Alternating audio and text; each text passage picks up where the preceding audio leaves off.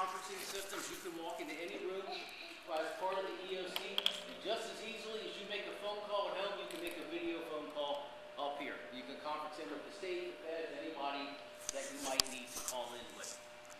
If the sheriff's helicopter is up and flying, if they're anywhere within about a 35, 40 mile radius of this building, we can pick them up and bring them in live. So we have those helicopters outfitted with normal cameras, with night vision cameras, and with thermal imaging cameras, so we can see what they're seeing out there.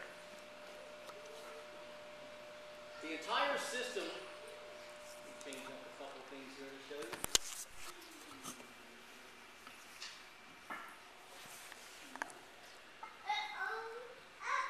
The entire system is controlled by what we call a Crestron system, which you're seeing the panels up there.